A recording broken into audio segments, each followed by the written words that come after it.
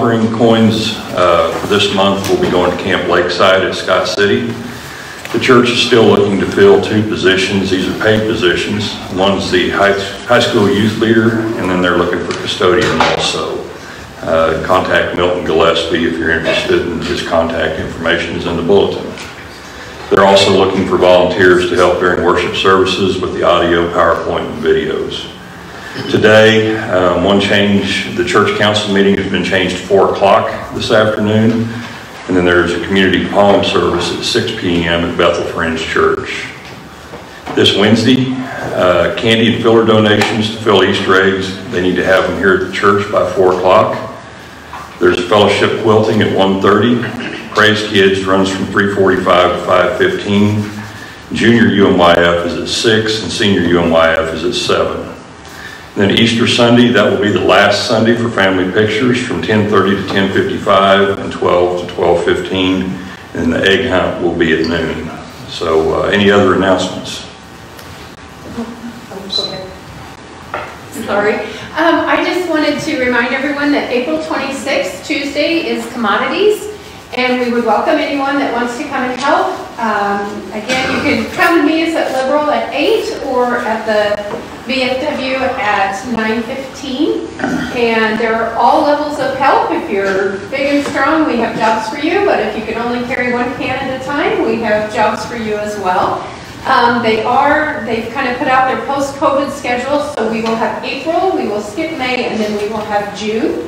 So for anyone needing community service hours, you want to be sure to get, get in on this so that you can uh, get those recorded for NHS or whatever other activity you might have going on, or just doing it out of the goodness of your heart is welcome as well, so.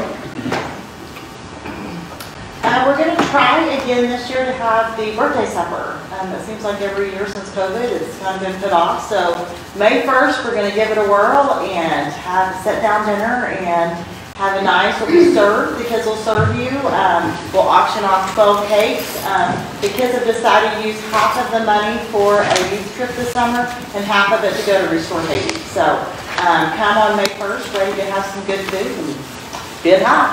Thanks. So I want to reiterate something, um, the commodities distribution. Uh, Normally, I go to, uh, normally, I- if I remember and I'm available, I go to Liberal and help unload the truck, and I will not be here this month. Sorry, I'll be out of town, Nancy. So uh, if somebody is um, feeling inspired, or at least just feeling like uh, God's making them feel guilty, then uh, they would love to have an extra set of hands out unloading the truck.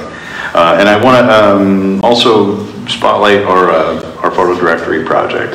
I was talking um, this morning, and I think we've got 15 families, which might not seem like a lot, but it's actually probably a little over half the people in the congregation have gone and gotten their picture taken. But that means there's plenty of folks that we still need to swing through there. And so if you will, please, this afternoon after church or next Sunday, we would very much appreciate it. There's more people that just come to us, fewer people we have to call and email and say, would you please consent to being a part of us on paper? Um, So please, uh, please help us with that. Thank you. Anything else? If not, would you please stand as able for the call to worship? I say to the Lord, you are my Lord. I have no good apart from you. Protect me, O God, for in you I take refuge. Those who choose other gods multiply their sorrows. As for the holy ones, they are noble in whom I delight. Therefore, my heart is glad and my soul rejoices. My body rests secure. For you do not give up or let your faithful ones see the pit.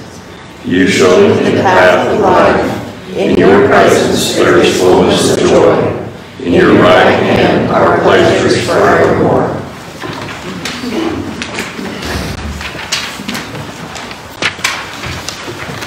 Please remain standing, and our opening hymn is Hosanna, Loud Hosanna, found on page 278 in your hymnal.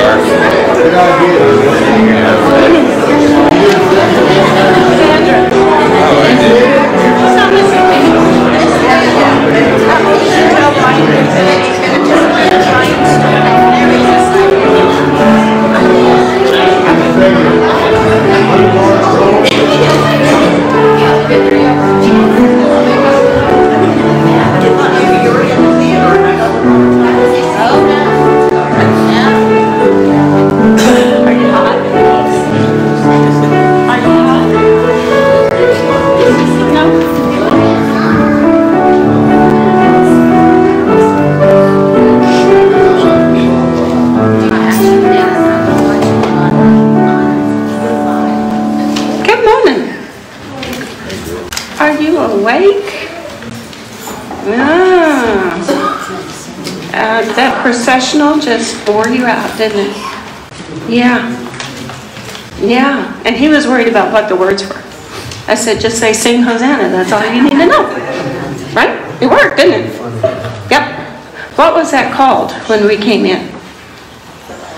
It's called a processional processional because we came in singing and we were waving our palm branches. And normally, the person in charge is on a big white horse and there's big soldiers and they have all of their armor and it's a parade. But this one was different. This one was spontaneous, it wasn't planned. They just had the disciples find a little donkey and she was tied up. And they came and asked the person, said that my master is in need of this. And he let him have it. And they put their coats over the horse, the little donkey. And they started proceeding through Jerusalem. That's why we call this Palm Sunday. The people weren't expecting it. The- These people here weren't expecting for you to come down the aisle waving your palms. Were they? It surprised them. And it was spontaneous. It came out of this part of you. It's like saying when you have a home run, yeah! Hosanna! Hosanna in the highest. The king is coming. The king's on a donkey. But they knew that the Messiah was predicted to come in that way. It was a really great week. Everybody was so excited. And they didn't have anything to wave, and they wanted to wave more than just their hands. So they had palms off of the trees and waved them. Other people took their cloaks off and put it on the ground so that the donkey could uh, proceed with that. And it was just so exciting to know that the Messiah that they had been told about came. He was here. He was where he was supposed to be. And then Maundy Thursday came and they celebrated the Passover meal. And Jesus told them that what they were going to do, that he was going to die. And that in three days he would rise again. So we have this week Maundy, Thursday. We have when he was eating the Last Supper with the disciples. And then we have Good Friday, which it wasn't a very good Friday because they crucified my Lord. But if he had not died for my sins, I would still be in sin. So that's why we call it Good Friday. And then we have Easter. And Easter, the tomb was open, empty. The tomb was empty. He had risen. And you know what? He's going to come back. Jesus is coming back. And we're not going to know when. It's going to have to be spontaneous. We're not going to know the song. We're just going to have to sing Hosanna and wave our palm. We don't get to practice. We get to just love Him and thank Him. Okay? Okay? Let's pray. Heavenly Father, we thank you. We praise you for Jesus riding on a donkey so we can say, Sing Hosanna. Amen. Okay, need a bucket.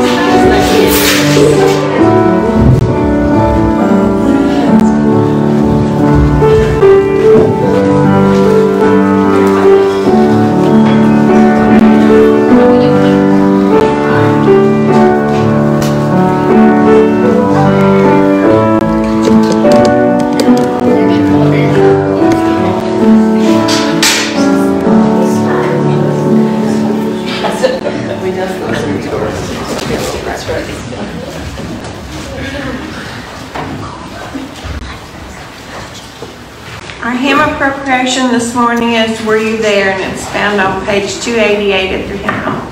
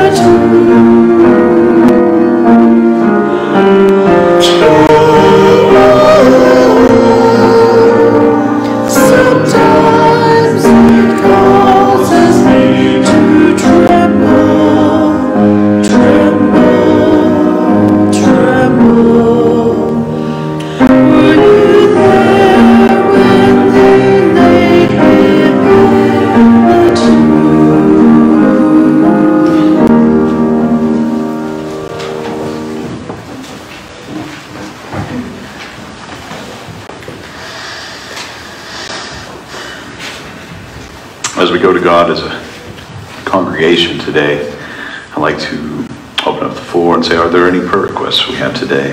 And a couple we'd like to bring to you. Um, Joyce Leonard is, um, was in the hospital this last week, and I haven't received confirmation yet, but I believe she was moving into Pioneer Manor this week. And so let's pray for her, both uh, her physical recovery, but also that is a significant transition in life, and I'm certain not an easy one to do. And so let us uh, send our prayers for her and peace and God's presence in her life as she adjusts to a new reality and let us remember her when we go forth too, uh, to encourage her and remind her that she's still our sister in Christ. Um, Want to uh, lift up Janet Stutz and her family. She lost a grandson this week, and um, we're still doing arrangements, but I believe the funeral will be here the day after Easter. And then um, I don't have an update on Charlie Wagner, but I know he's been uh, been unwell, and maybe somebody can help fill us in on Charlie. Are there other prayer requests today?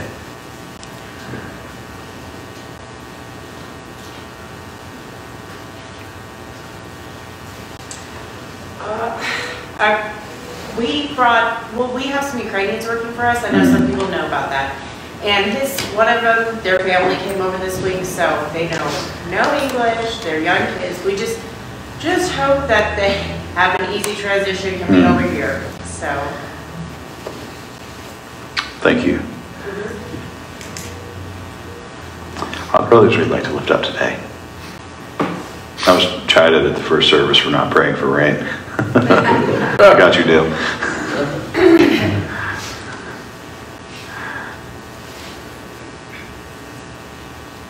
All right, well, let's go to God in prayer. Dear Heavenly Father, we come together today, and as we just considered this, just this moment, there's so much to be thankful for in it. The fact that we have a place, we belong.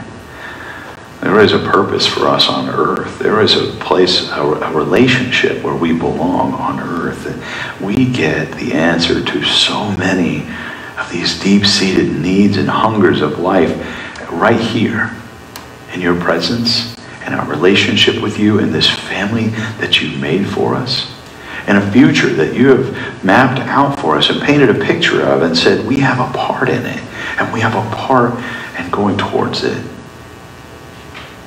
God, we thank you for, for just this simple, every Sunday morning miracle that maybe we take a little bit for granted.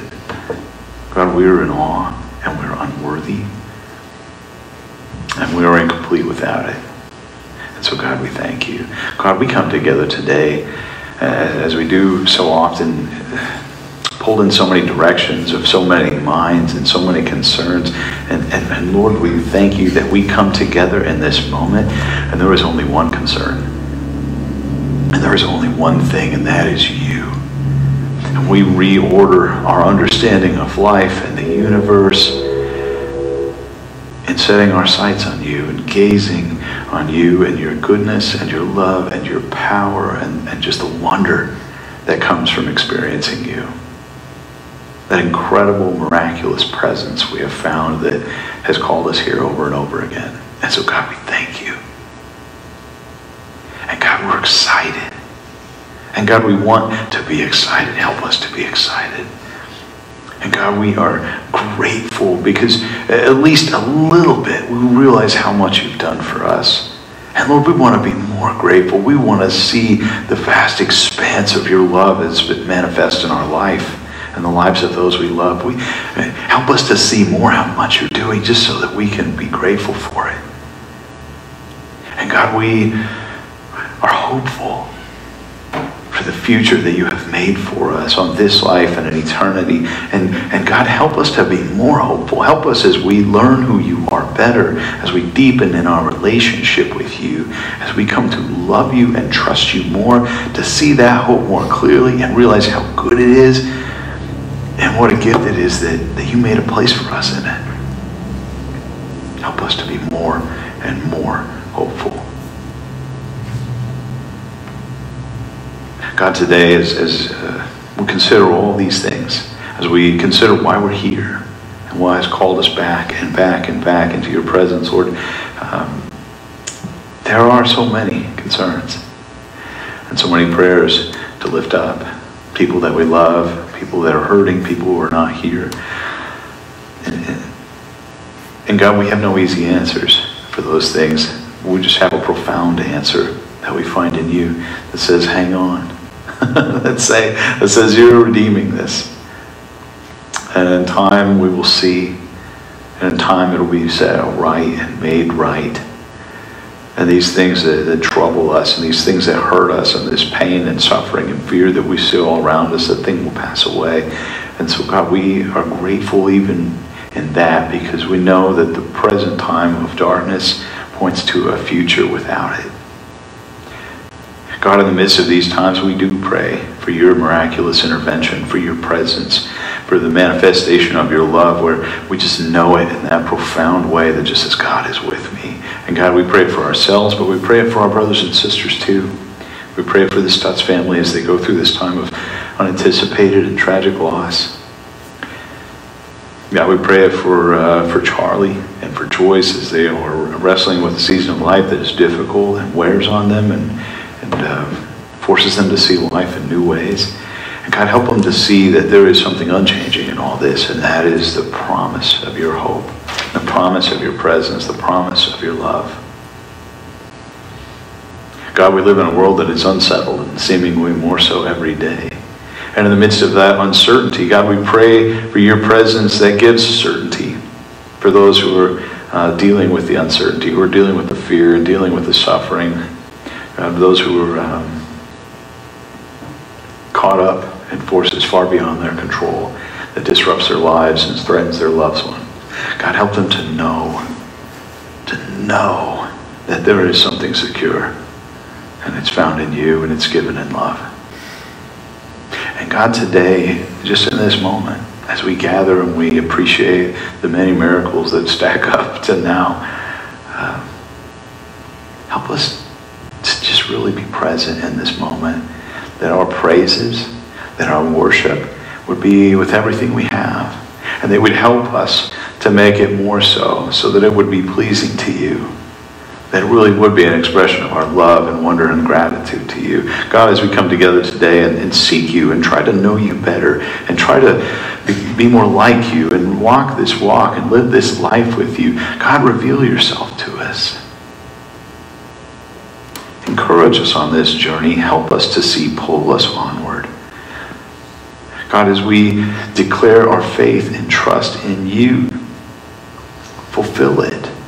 We believe, help our unbelief.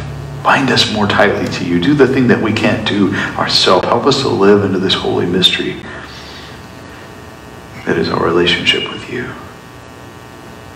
God, even as we praise you and celebrate you and as we seek you and, and as we beseech you, help. We know that there is no help except in you and that it is given freely and with profound love. And so, God, we are grateful. God, this season of Lent and this season of Easter that we, anticipate, that we anticipate so greatly when we just celebrate great works, I pray that you would help us to do so with whole hearts, knowing humbly how much we need it, and knowing excitedly how much it is given to us. God, we ask these things in your name. As we say the prayer that your son Jesus taught his disciples to pray. Our Father, who art in heaven, hallowed be thy name. Thy kingdom come, thy will be done, on earth as it is in heaven. Give us this day our daily bread, and forgive us our trespasses, as we forgive those who trespass against us. And lead us not into temptation, but deliver us from evil. For thine is the kingdom, and the power, and the glory forever. Amen.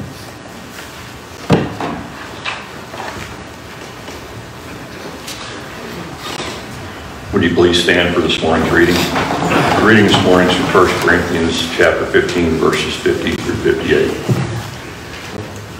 What I am saying, brothers and sisters, is this. Flesh and blood cannot inherit the kingdom of God, nor does the perishable inherit the imperishable. Listen, I will tell you a mystery. We will not all die, but we will all be changed in a moment, in the twinkling of an eye, at the last trumpet. For the trumpet will sound, and the dead will be raised imperishable, and we will be changed. For this perishable body must be put on imperish must put on imperishability, and this mortal body must put on immortality. When this perishable body puts on imperishability, and this mortal body puts on immortality, then the saying that is written will be fulfilled. Death has been swallowed up in victory. Where, O death, is your victory? Where, O death, is your sting? The sting of death is sin, and the power of sin is the law. But thanks be to God who gives us the victory through our Lord Jesus Christ. Therefore, my beloved, be steadfast, immovable, always excelling in the work of the Lord, because you know that in the Lord your labor is not in vain. The word of God for the people of God. Thanks be to God.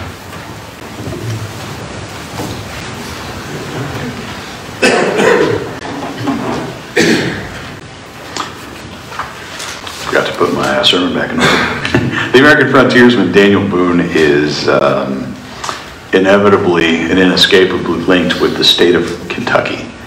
And um, he's, he's the one who opened it up for settlement uh, during the period of westward expansion and um, really did some pretty amazing things there, pretty cool stories. But there came a point in time in his life, in his later life, where he was the subject of a lot of um, probably frivolous and opportunistic lawsuits. We don't know anything like that today. Um, and, and lost a lot of money and, and eventually left Kentucky in frustration, um, saying uh, what we say today is keep, keep my name out your mouth and I'm never coming back. And uh, moved to the state of Missouri. So fast forward a few years, and uh, Kentucky is applying for statehood.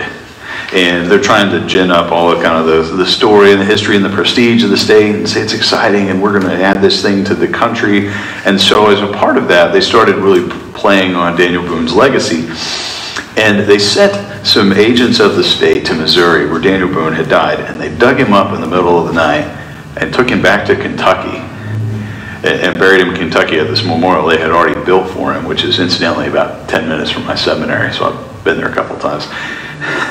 And they proceeded to get into a fight that still goes on today about the location of his remains and uh, where is Daniel Boone buried. And of course, Kentucky says, well, we've got his bones, so he's buried in Kentucky. And Missouri says, well, we've pretty much got everything else of him, so I guess he's buried in Missouri.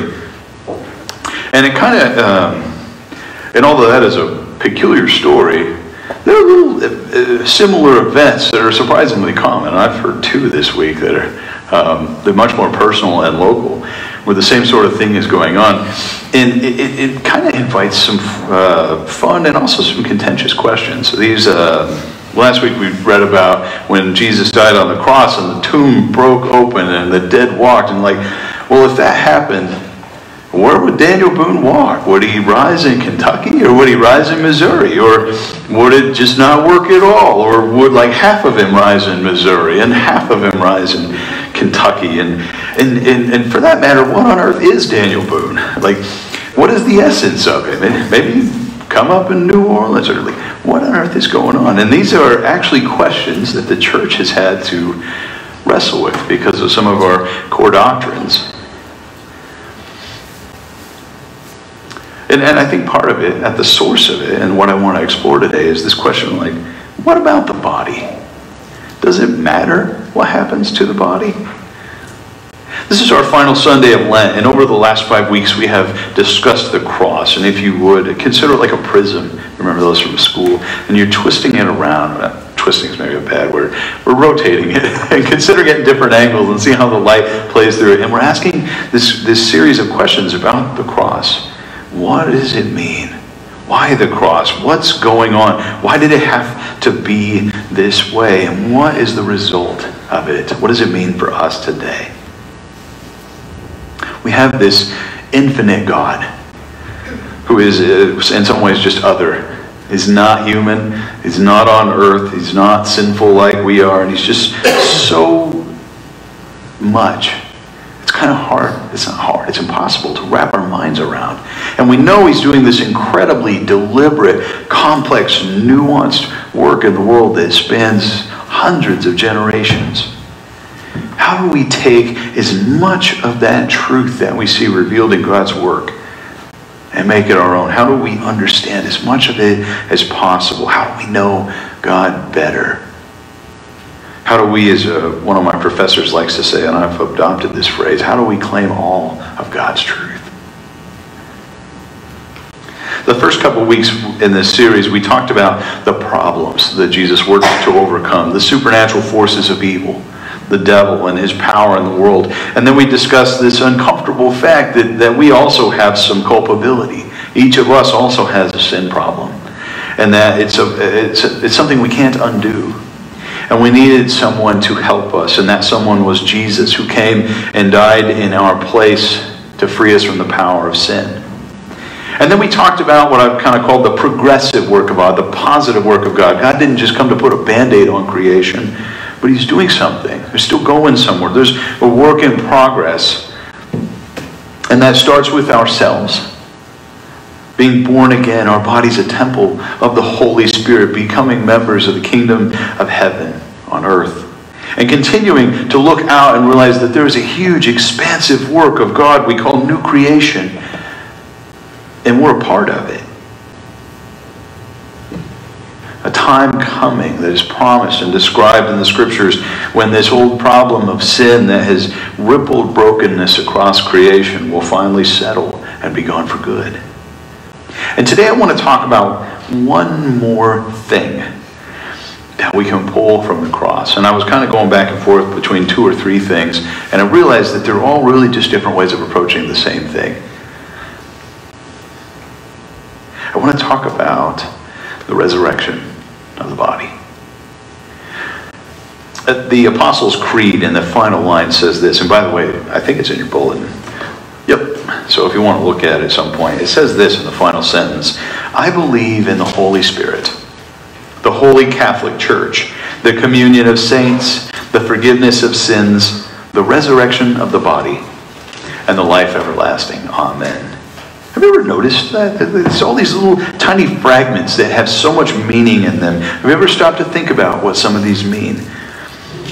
This, this creed has been like the kind of the, the boiled down list of these are the inescapable beliefs of the church. What, if you ask the question, what is a Christian? There's a couple ways to approach it. But one is this, these set of beliefs have been binding to all of Christendom.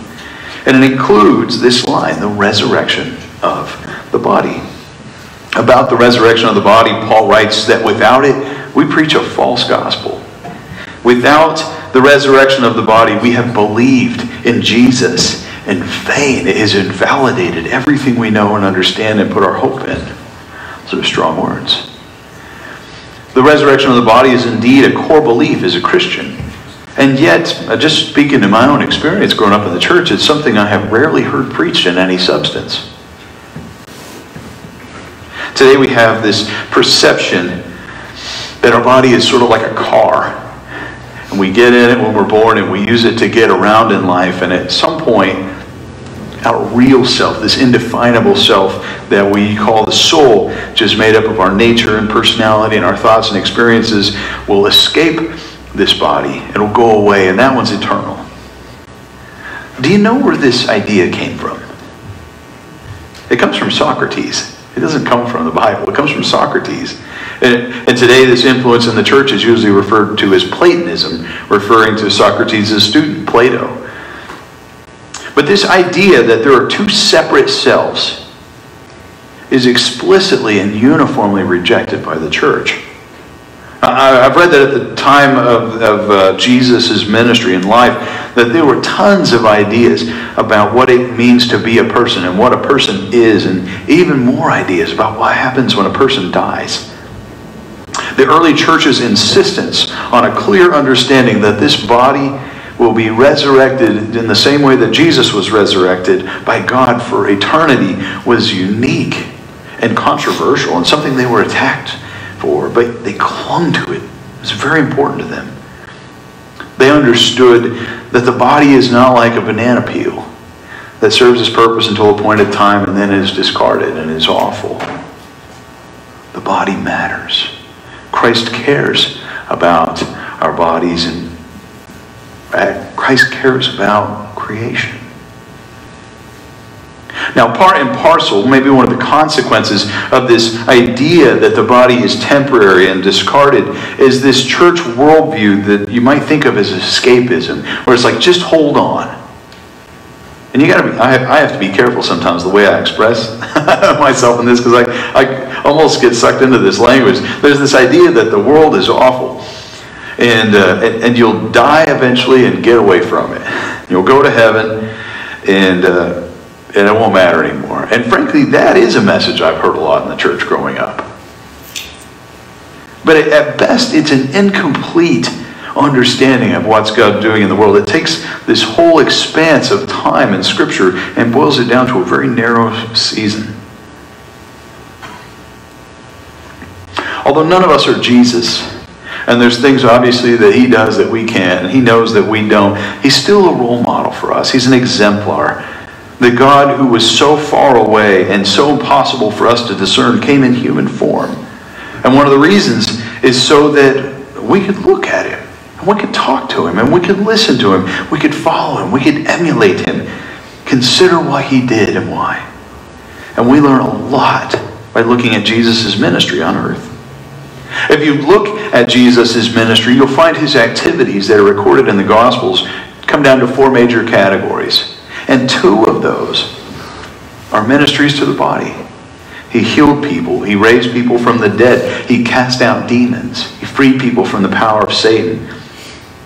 He also spent a lot of time eating with people, feeding people, breaking bread and fish. Jesus cared very much about people's bodies. And, and, and I think it's important that we understand those activities were not throwaway activities meant to let people know he was cool so we could get to the important part. It wasn't advertising, but genuine expressions of, of what God cares about, which includes our bodies and this world. In theological terms, we call this idea embodied, meaning that our self, this, this larger esoteric sense of who we are, is embodied. It's, an, it's inescapably bound to a physical form.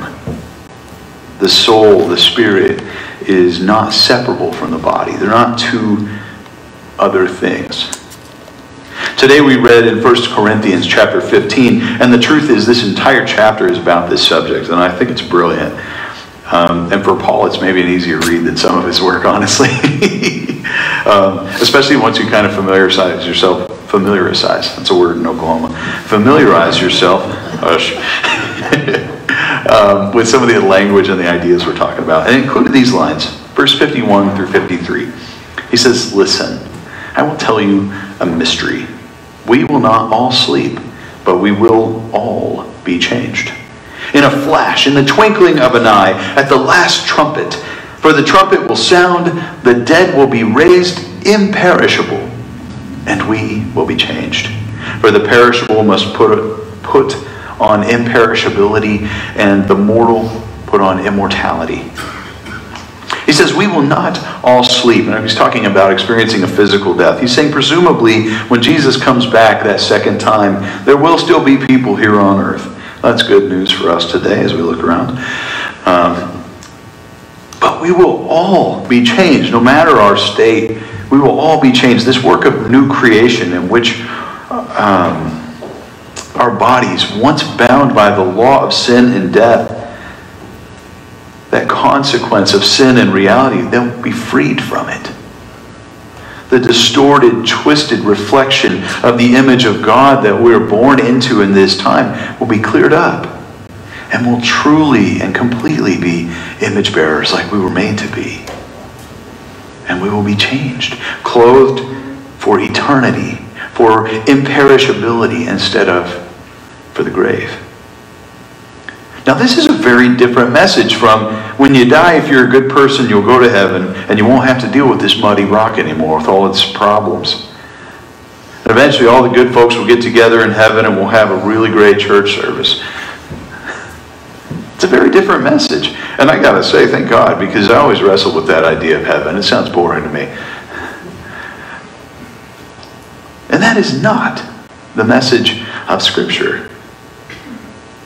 Now, I want to look at Jesus a little bit longer. Always a safe bet in church. What does Jesus do? What does Jesus say? We already talked about the fact that a significant portion of Jesus' activities are physical in nature, caring for people's bodies, healing them, expressing physical um, regard for them, affection. I love you. You're important. I care about you. If Jesus is anything like the person we believe he is, it wasn't simply to coerce people or trick people or persuade people into listening to him, but a genuine expression of his loving nature. When Jesus died on the cross, he was buried in a grave, and as the scriptures say, he rose again on the third day. Jesus experienced a bodily resurrection. Just as Jesus condemned sin in the flesh on the cross, Jesus exercised his power over the grave. No longer did the grave have the final word. And Jesus sat in authority over even that terrible thing. Through the power of Jesus, those who are in the kingdom of heaven, those who believe, experience freedom from the power of the grave. Maybe not the experience of the grave, but the power of mortal death. And the case study goes on. When Jesus rose again, we see he was still clearly Jesus, and he was also fundamentally different. The scriptures indicate that he was so different that oftentimes people didn't recognize him at first. So I imagine it's like being at the store in another town and you see somebody you know, but you weren't expecting to see him there, so you just miss them, or you're like, how do I know that person? He, he had this effect where he would talk to people, encounter people who knew him. And it took him a minute, but then they would, for whatever reason, take a closer look, and there, there'd be this, whoa moment. It, it, it's you, you're alive clearly Jesus, and yet somehow different. The scriptures go to great pains to demonstrate that Jesus was not a ghost or a spirit or an apparition. An apparition. They explain that Jesus walked with them both day and night, that he broke bread with them, he ate fish with them, he let people touch his wounds. He was, there's that word, embodied. The eternal divine Savior, appeared in flesh, and his flesh was changed. What did Paul say? We will all be changed. In fact, the scriptures go on to explain that Jesus occurred in public and private in close proximity to hundreds of people, more than 500 people. God cares very much for our souls, our relationship with Him, and He also cares very much about our bodies in the Old Testament, a significant portion of the law that God gives to Israel is about the body's welfare. It's about physical purity. A significant portion of Jesus' ministry is caring after the body. And when we look ahead, as we did last week, into this grand work of new creation, a new heaven, a new earth, we see it is material in nature. A reuniting completely and perfectly of heaven and earth into the reality that God desires it to be. And likewise, our sense of being, both in spirit and in body, is bound together. When we look at God, we see He is a redeemer. He's redeeming creation, and He is redeeming us, not casting us away. When we look at the totality of the, what we call, I like to think of as orthodoxy, which is this, this mainline set of thought that has bound Christianity together over the millennia, we see that the doctrine of the resurrection of the body is, is something that's been a part of it from the beginning and to today. But a, but a question for a Sunday morning is, beyond being educational, why is this doctrine important? Why is this relevant? Why was this something that the church was so bound to said, we, we must have this? And Paul said, we must have this, and we preach a false gospel without it. Why did Jesus have to go to the cross for it? On one hand, it's part of God's truth, and, and that's good enough. that itself makes it valuable. But it's also very pertinent on a personal level because this conversation about the resurrection of the body is a, is a high minded way of approaching something that's very personal to all of us, which is death. We're talking about death. The Gospel of John says it in a different way from Paul. He says, We will all die, but some of us may yet live. And Paul, of course, said, uh, Some of you might still be alive at the end, but we will all be changed.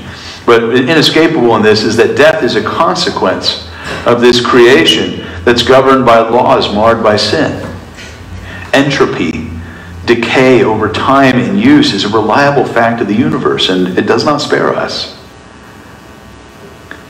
Sadly, death is one of the few points in people's lives when they really want the church to play a role. They really want us to have something to say when they're dealing with death. And, it, and it's important that we have something worth saying on a day when we're dealing with death. If we don't, I don't know if we have anything worth saying.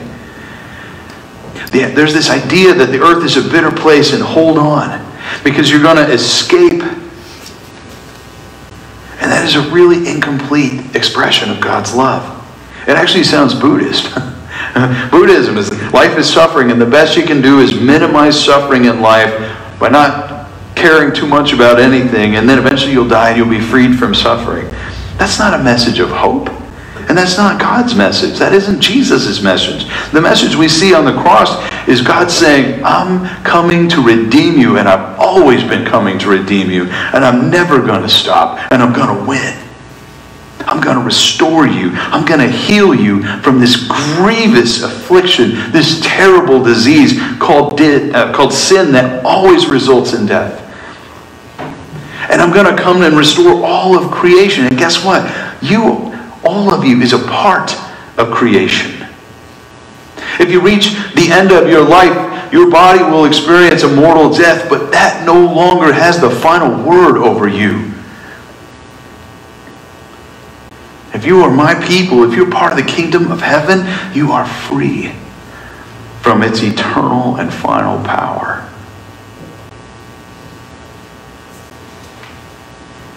To wrap up today, I want to just pull a few passages out of 1 Corinthians 15.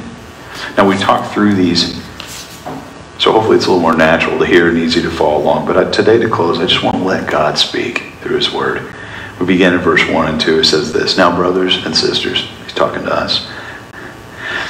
I want to remind you of the gospel I preached to you, which you received, and on which you have taken your stand. By this gospel you are saved. And if you hold firmly to the word I preached you, otherwise you have believed in vain. Verses 3 through 8 Christ died for our sins according to the scriptures he was buried. He was raised on the third day, according to scriptures. He appeared to Cephas, that's Peter. He appeared to the twelve, and after that to more than 500 of our brothers and sisters, most of whom are still living, although some have fallen asleep. Then he appeared to James, Jesus' brother, then to the apostles, and last of all to me, Paul.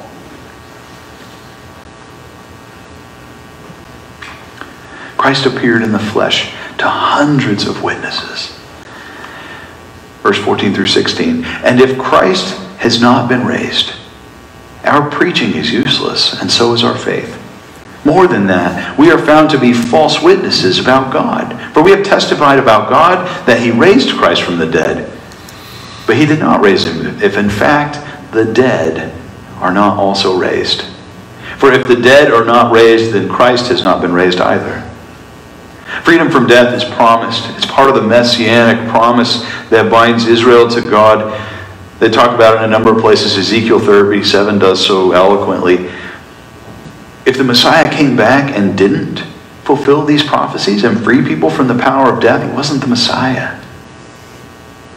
Verse 20 through 26 But Christ has indeed been raised from the dead, the firstfruits of those who have fallen asleep.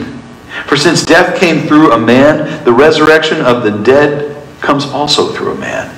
For as in Adam all die, so in Christ all will be made alive. But each in turn. Christ, the firstfruits, then when he comes, those who belong to him. Then the end will come when he hands over the kingdom of heaven to God the Father, after he has destroyed all dominion and authority and power, for he must reign until he has put all his enemies under his feet. And the last enemy to be destroyed is death. The last enemy to be destroyed in this work that we see begin on the cross is death. And when that happens, when Jesus has brought all of creation under the dominion of the kingdom of heaven, all people and all things, then Jesus will turn it over to his Father, and heaven and earth will be restored as one, as God always intended it to be. This passage concludes in verse 58, and it's a great benediction for today. It says this, therefore, I love that word, because of all this, therefore, my dear brothers and sisters, stand firm. Let nothing move you. Always give yourselves fully to the work of the Lord because you know that your labor in the Lord is not in vain. Death does not have the final word. Therefore, let nothing move you out of the will and purpose of God. Give yourselves completely and fully in all you do to the Lord. And know that your efforts are never in vain. God has the power and the desire to redeem them in the proper. Let's pray. Dear Heavenly Father, thank you. You always pull us outward and pull us upward and lift us up from, from where we are and what we understand and what we are. And you show us there's something better. That your desire for us is incredible. Your love for us is unimaginable. If you weren't truth, we'd say it was irrational. Why? And you do love us so much. And you have made such a place of hope for us. You're doing such an incredible thing here today, Lord, as we as we go through these moments that we have, as we try to make the best of them, God, I pray that you would help us to see you more clearly, to labor more valiantly, to want to, to just want to desperately be a part of what you're doing, and to see our hope and trust in you growing and growing and growing, because every time we see just a little bit more of you, we realize how much more there is to see and how good it all is. God, we thank you. We know that we're bookended by birth and by death. And that is a profound reality to live in. And we have this promise from you that that is no longer the case. The grave is no bar to your call. That the grave has no power over your people. And God, we thank you. Lord, we lift up our thanks today in the name of the Father, and the Son, and the Holy Spirit. Amen.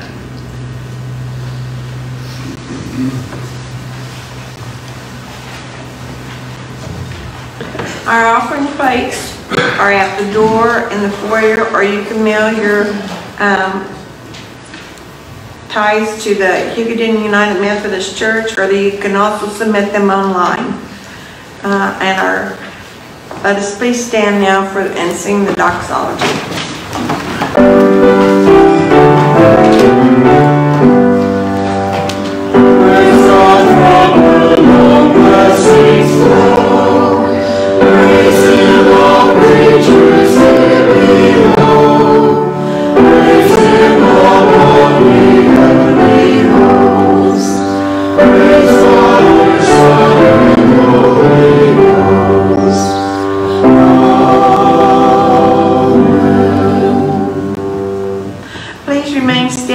Our closing hymn. It's found on page 277, Tell Me the Story of Jesus.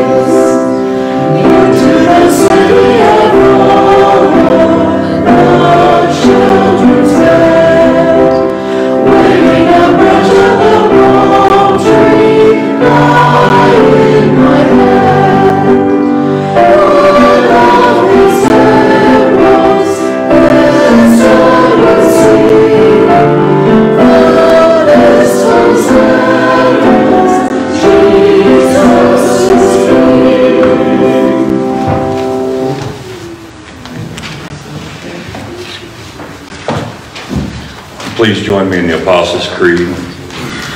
I believe in God, the Father Almighty, maker of heaven and earth, and in Jesus Christ, his only Son, our Lord, who was conceived by the Holy Spirit, born of the Virgin Mary, suffered under Pontius Pilate, was crucified, dead, and buried.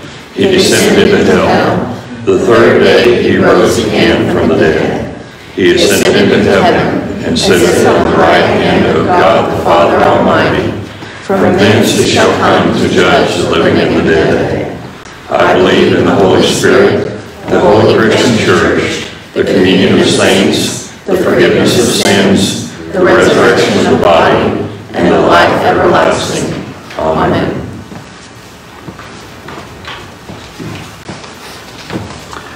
I don't recall if we announced this at the beginning, but I want to make sure we invite you to the community service this evening at Bethel Friends Church.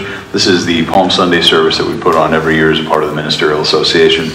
And uh, I at least always have a good time there. And it's, it's great to see that, um, how expansive the kingdom of God is. And how many different types of folks come together and have encountered God in different ways and worship different ways, but are still very much bound by Jesus Christ as our Lord and Savior. Um, We are a people of hope. And we live in a world with real concerns and real constraints. And it's okay to feel that, and it's okay to look at it and for it to hurt and for it to worry us. But that's not the spirit that God gave us. We have a message of profound love that says no matter what you're facing, I got an answer for it. And I'm going to win. And you're going to be a part of the victory and the victory's already been won. We're just, uh, not just, but we're walking to it. And we get to be a part of it day by day by day as we share our lives with God and grow into that kingdom together. And so I want to encourage you, go forward with hope. The worst thing we can imagine ultimately is bound up in death. And Jesus said, I got that too. I don't have the final word anymore. I do. And you can be alive with me. And so go forward with hope and live in the real world. We don't have to be myopic. We don't have to hide from it. Um, because we have real, enduring truth that answers all those things for us. You are dismissed.